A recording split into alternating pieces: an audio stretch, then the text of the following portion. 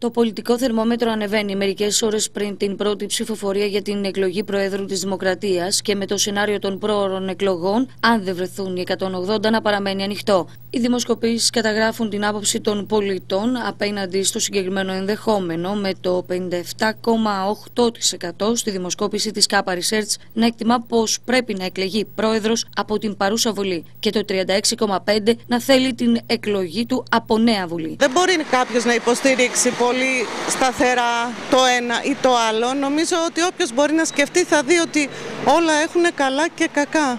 Καλές και κακές πλευρές. Και η αποσταθεροποίηση μπορεί να είναι πολύ άσχημη, μοιραία. Τη φοβάστε δηλαδή την αποσταθεροποίηση, ναι. όλο αυτό που έρχεται με τις εκλογές; Όλος ο κόσμος νομίζω ότι φοβάται. Θεωρείτε ότι είναι καλύτερα αυτή τη στιγμή να μην οδηγηθεί η χώρα σε πρόορες εκλογές; Ε, νομίζω ναι. Δεν έχω αποφασίσει ακόμα, αλλά νομίζω ότι καλό θα ήταν να περιμένουμε. Πάμε για εκλογές, αλλά δεν νομίζω ότι θα αλλάξουν πολλά πράγματα. Στα ίδια θα κοιμαθούμε και χειρότερα. Υπάρχει αυτός ο φόβος ότι πάμε δηλαδή για, μετά τις εκλογές για χειρότερες μέρες; Εννοείται.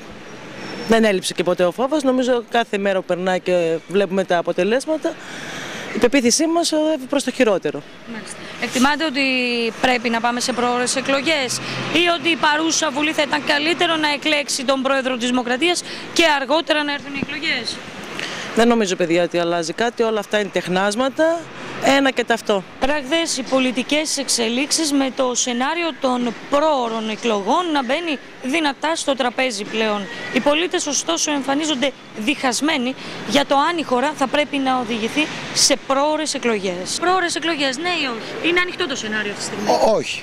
Γιατί; Ε, γιατί θεωρώ ότι θα μπλέξουμε σε περιπέτειες. Οι πολίτες, σχολιάζοντας το ενδεχόμενο εκλογών, εμφανίζονται προβληματισμένοι, κοιτώντας με αβεβαιότητα την επόμενη ημέρα. Νομίζω πως ε, πλέον τα πράγματα πρέπει να πάρουν μια άλλη. Μάλλον έχουν πάρει μια άλλη τροπή. Ε, αν δεν θέλουν να, να χαλάσει πιο γρήγορα ο κόσμος, καλά να, είναι, να μείνουν εδώ που είναι.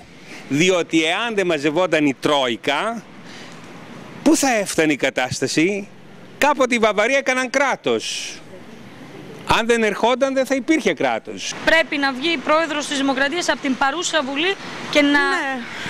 Θα έλεγα ότι αυτό θα ήταν το καλύτερο. Καταλαβαίνω βέβαια και την άλλη πλευρά και καταλαβαίνω και τους ανθρώπους που λένε ότι πρέπει να αντιδράσουμε, αλλά ίσως όχι ακόμα. Όλα αυτά απλά κερδίζουν χρόνο και τίποτα παραπάνω. Η καθημερινότητα του κόσμου δεν αλλάζει δεν λέει κάτι. Ούτε και στις εκλογές όμως βλέπετε λύση στα προβλήματα. Όχι, καμία. Όπως και τόσα χρόνια δεν έχει αλλάξει κάτι.